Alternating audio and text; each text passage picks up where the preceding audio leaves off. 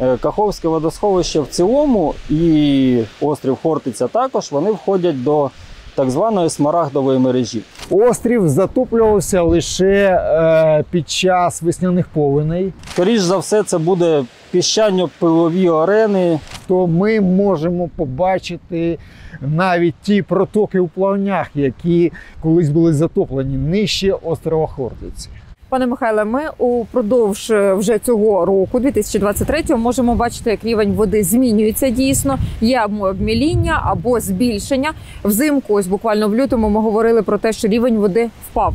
Наскільки це катастрофічно і які наслідки для екології має? Спочатку в нас було падіння рівня майже на 2 метри, от ті самі, які тут були до затоплення Каховського водосховища у 1958 році. Е, Потім ми почали спостерігати його поступове збільшення спочатку на пів метра. Зараз ми бачимо майже той рівень, який був е, до цих подій. Тобто зараз ми спостерігаємо рівень наш звичайний.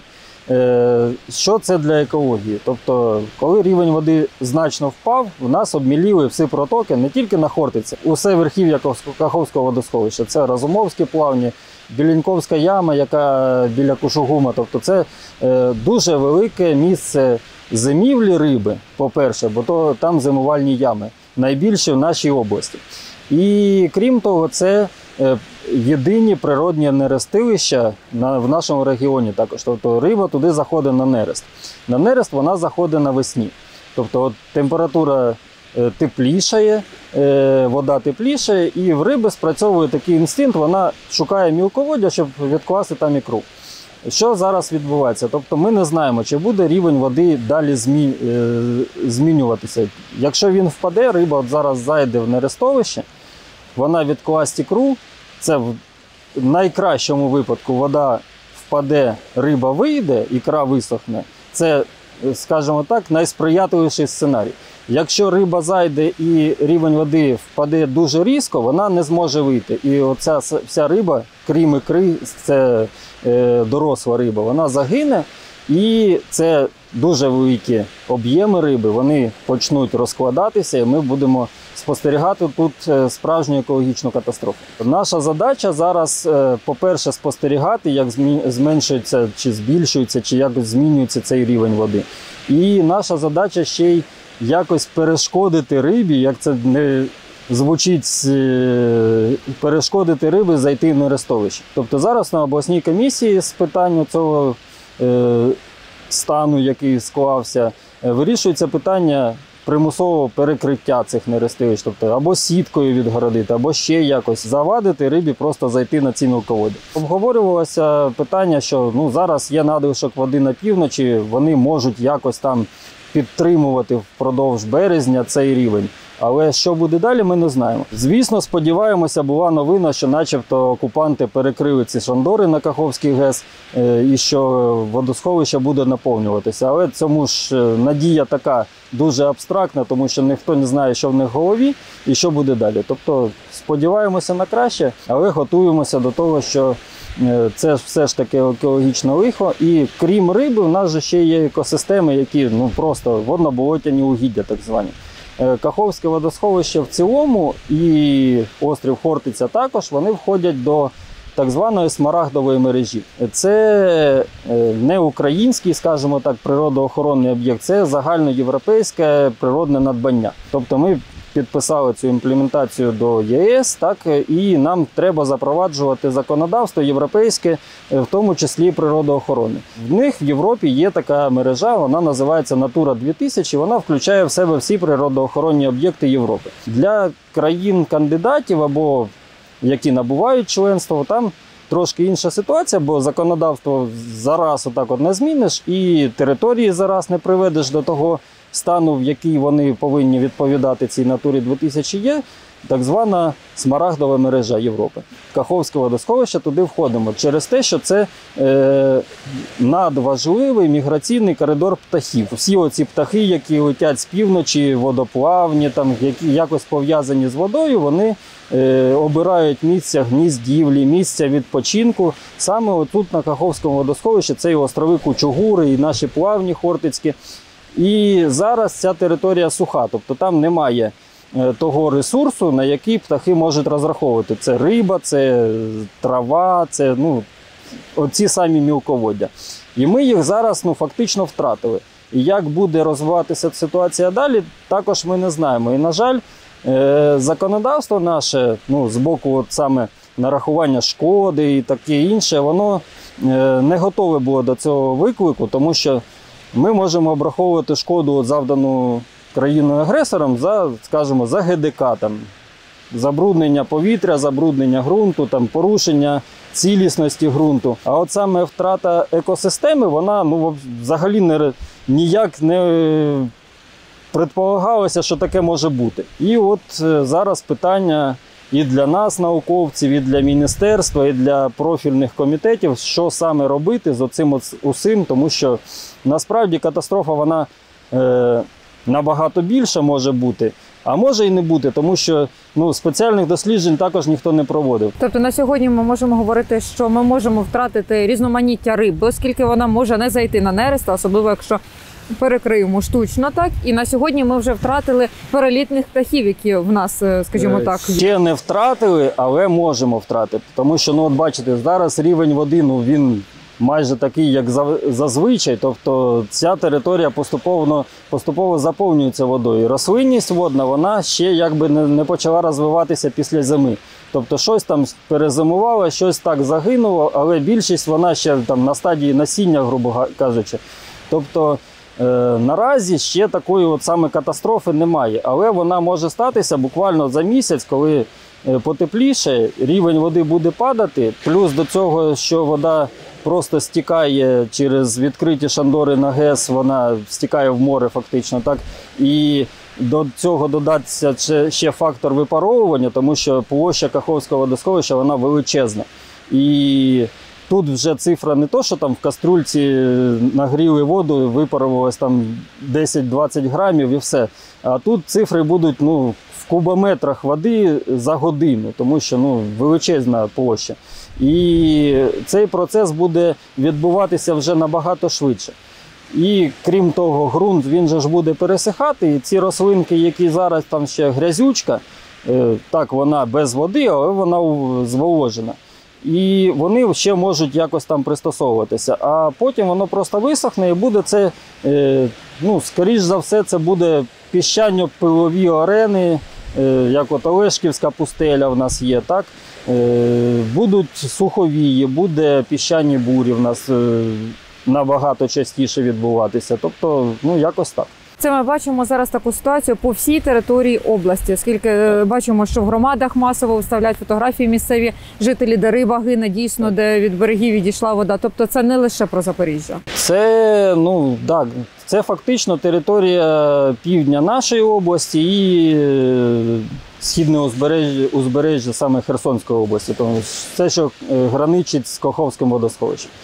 Тобто е, риба гине так. е, Ми також постійно контролюємо цей процес. Ну, в нас ситуація трошки краща. По-перше, ми близько до Дніпрогеса, і в нас оці ці регуляції води, в нас вони їх від, відчутно. Так? Тобто ми там спустили воду, в нас рівень зразу так гопа на пів метра піднявся. А далі е, водосховище розширяється, і там це якби в нас пів метра, а там це один сантиметр. Е, Тобто, так, вже в Кушугумі, це поряд з Запоріжжям, так, там вже е, сухо, і оці коливання не так е, видно, і риба там дійсно гине. Тобто ми виїжджали комісією туди, так дійсно там риба гине в величезних об'ємах. На жаль, щось зробити, на жаль, ми не, не в змозі, тому що ну, прокопати штучні канали це, по-перше, величезні об'єми. І, на жаль, війна і навіть немає чим, і нема кому. Власне, ось те, що ми бачимо з рівнем води, то він зменшується, то піднімається. Це через дії спричинення окупантами. Так, так, звісно, це через дії спричинені окупантом, тому що в нас немає доступу от саме до греблі, Каховської греблі, і ми не можемо вплинути на е, регуляцію скиду води. Е, тобто, якщо б ми мали змогу там знаходитись, там якось впливати, то так, закрили шандору, рівень е, все, е, стік зменшується, і вода, яка зверху надходить з того ж Дніпровського водосховища, вона залишається в Каховському. А так, навіть якщо наші відкривають тут воду, ну щоб збросити, скинути трошки, то вона е, через ті ж відкриті шандори на Каховський ГЕС, так, вона деякий час тут побуде, доки дотече до Каховки. Але вона все одно перельється і попливе далі в море. Пане Олеже, ми бачимо, що рівень в Дніпрі змінюється, то збільшується, то зменшується. І от саме коли було обміління, так скажімо, то можна було побачити залишки різноманітних споруд. Власне, що бачили жителі Запоріжжя, що виднілося? Якщо б ми пішли вплавно у частину острова Хортиці або на піщаний кар'єр у Соловіний Гай, ми могли би там побачити залишки тимчасового мосту, який було збудовано всього е, за один місяць у 1944 році. Коли відступав Вермахт, німецькі війська е, в 43-му, то мости Стрілецького через е, новий старий Дніпро, е, які з'єднували острів Хортицю з містом, вони були знищені, повністю знищені. Але переїзд е, через острів був надзвичайно потрібний для армії, для сполучення, і тому було прийнято рішення збудувати тимчасовий міст із дерева. Цей міст був зроб, е, побудований буквально за місяць е, взимку, причому в 44-му році е, силами всіх, хто міг жителів міста Запоріжжя і навіть жителів всієї Запорізької області. А також там брали участь і солдати. І цей міст стояв з 1944 по е, е, 52 рік включно.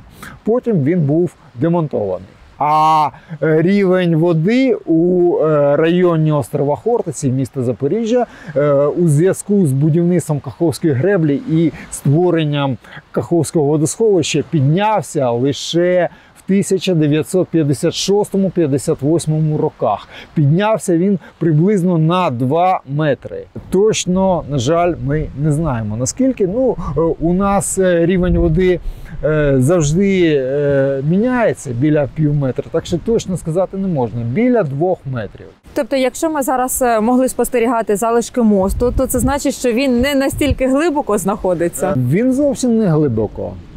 Е, Там, до речі, в тому місці, де був колись міст, е, був острів. Називався він Корнетівський. Острів затоплювався лише е, під час весняних повеней.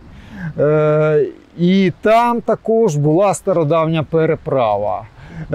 Багато вчених вважають, що цей брід, який там існував, е, називався протолчий брід. Е, Ним користувалися як у середні віки, чому є докази у вигляді різних знахідок. Там же ж, знаєте, був після демонтажу мосту, там був піщаний кар'єр.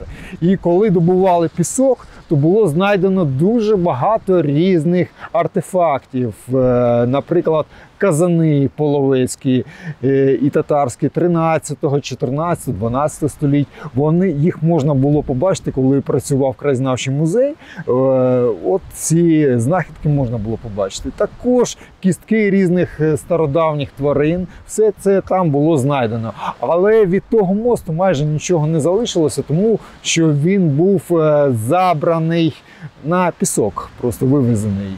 На сьогодні що ще приховує Дніпро, якщо рівень води ще буде падати? Чи знаєте, можливо, ще є історичні залишки, скажімо так, які можуть знаходитися дійсно на дні? Дуже багато різних суден 18 століття, коли була російсько-турецька війна 1735-39 років, то тут біля острова е, стояли декілька сот е, суден. Е, Які можна сказати, тут і залишилися, тут і погнили, тут і всі потопилися, тому що вони будувалися дуже швидко із непідготовленої деревини.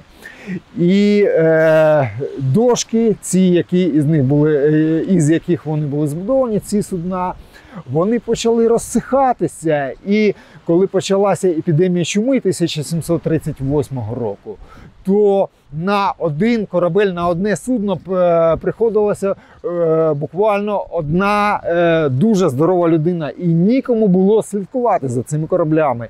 І коли відкрилася течія у цих кораблях, то вони просто один за одним почали тут топитися. І тут то вони і залишилися, тому що коли війна закінчилася і війська покинули Хортицю, ніхто цих суден не забирав.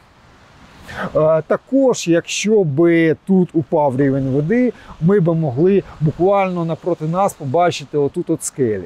Е, Був колись острів, піщаний острів, називався один з дубових островів. Е, Навкруги острова Хортиці було островів з назвою Дубовий аж чотири. І ось один з дубових островів, ось це він. От, е, значить, скелі, які ми бачимо, називаються зараз вони називаються охи, охи або скелі зітхання. Меноніти, які жили отут, отут було село Менонітське, е, колонія острів Хортиця, вони називали ці каміння Зандхакен. От е, що іще?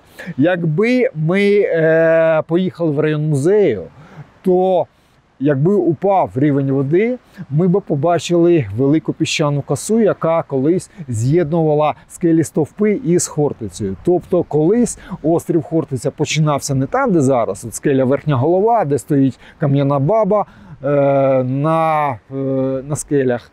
От, е, а починався острів аж біля скель стовпів. Тобто, наприклад, якщо ми їдемо по греблі, ми можемо бачити також скелі, які вже найбільше виступають над водою. Це ті пороги, які ми до цього не бачили, наприклад. Це не пороги.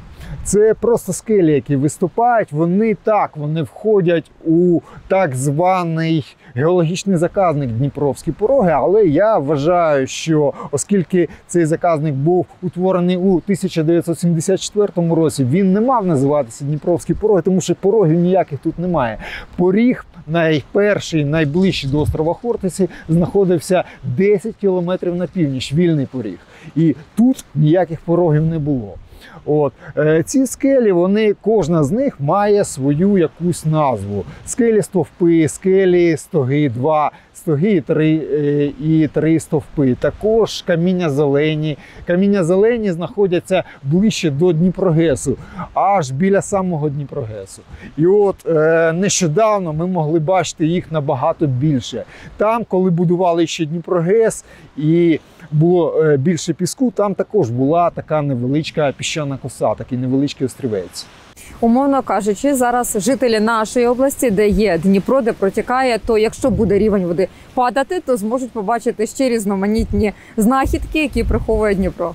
Так обов'язково вони їх побачать. І якщо рівень води е, впаде наскільки, що тут впаде рівень води на 2 метри, то ми можемо побачити навіть ті протоки у плавнях, які колись були затоплені нижче острова Хортиці. А е, якщо би ми хотіли побачити весь простір, затоплений колись водосховищем, то тоді вода біля Каховської греблі має впасти на 16 метрів. Але це занадто великий. Це занадто великий е, рівень, е, тому що всі наші комунікації теперішні вони всі прив'язані до цього рівня. І, до речі, е, охолодження е, Запорізької атомної станції воно відбувається за рахунок цього рівня, який існує зараз.